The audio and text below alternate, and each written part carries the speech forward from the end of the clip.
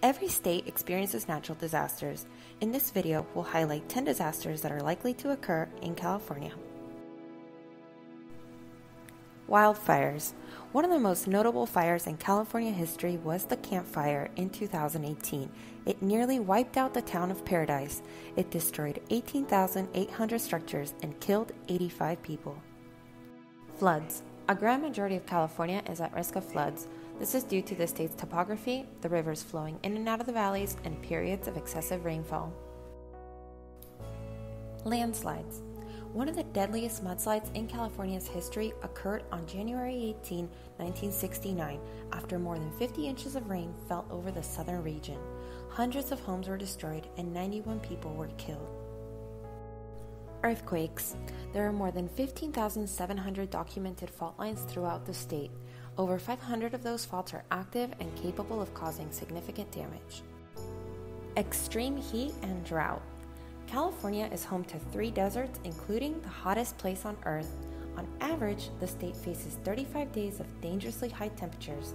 The heat may contribute to the long seasons of drought. Severe storms. Strong winds and occasional heavy rainfall can occur in the state.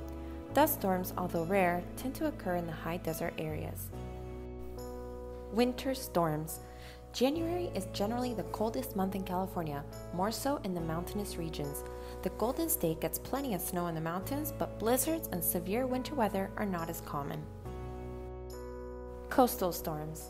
The entire western coast is at risk of tsunami waves and tidal surges.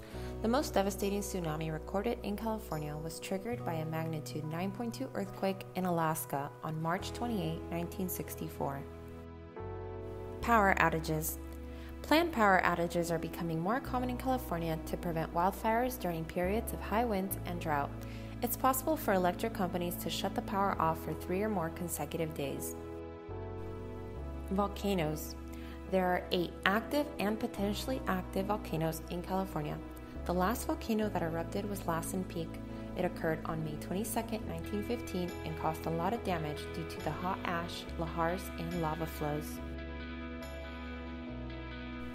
Natural disasters are inevitable, but preparing for them is your responsibility. I want to invite you to start planning today. We created an in depth resource with guides, templates, and checklists that will allow you to customize your emergency plan to your specific needs.